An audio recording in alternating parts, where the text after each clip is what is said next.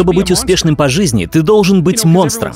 Общество говорит, что ты должен быть безобидным и добрым, что ты должен обуздать свой инстинкт соперничества, что ты не должен пытаться победить, что ты не должен быть агрессивным, что ты не должен быть слишком напористым, что ты должен быть скромным и уйти на второй план. И все это неправильно. Ты должен быть монстром, абсолютным монстром, но также ты должен научиться контролировать своего монстра. Я встречал много добрых и успешных людей, и все они были очень опасными. Лучше не переходить им дорогу. Безобидный человек не может быть добрым человеком. По-настоящему добрый человек — это тот, кто опасен, но держит все под добровольным контролем. Женщинам не нравятся безобидные мужчины, они презирают их, они смеются над ними. Чего хотят женщины, так это опасных и в то же время цивилизованных мужчин. Они хотят их облагородить, прямо как в сказке «Красавица и чудовище». Если ты безобиден, но не опасен, ты просто безобидный, а не добрый. Ты как кролик. Кролик не может быть по-настоящему добрым. Он не может ничего сделать, кроме как быть съеденным. В этом нет ничего хорошего.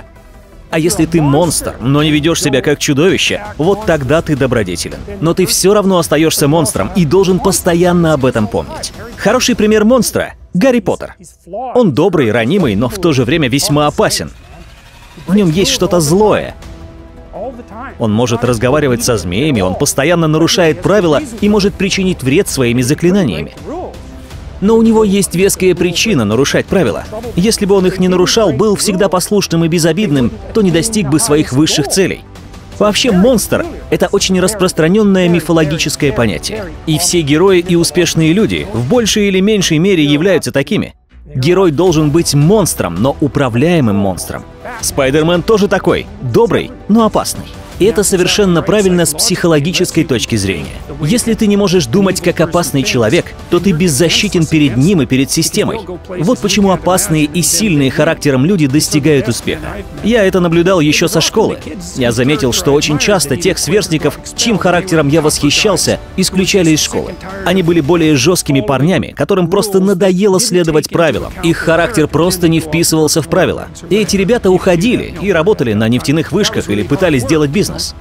Может, кто-то думает, что быть безобидным — это безопасно. Но парадокс заключается в том, что настоящая безопасность — это быть опасным человеком. Нельзя с помощью слабости и безобидности защититься от угроз. Что же это за жизнь будет? Вами будут все управлять и командовать. Это не жизнь для человека. Вам следует противостоять опасностям и неизвестностям, чтобы быть в безопасности.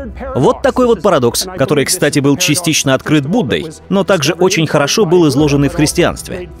Этот парадокс заключается в том, что решение всех проблем и страданий человека кроется в готовности встретиться с ними лицом к лицу, а не прятаться от них, думая, что это безопасно. Но кто об этом догадается? Это же совершенно парадоксально. Вот почему многие и не видят эту истину.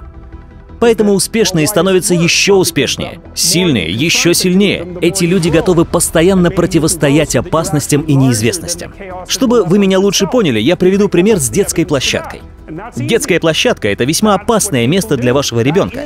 Там он может упасть с качели, удариться обо что-то, туда могут прийти хулиганы и побить вашего ребенка или что-то отобрать у него. И было бы логично, что ребенку безопаснее сидеть дома.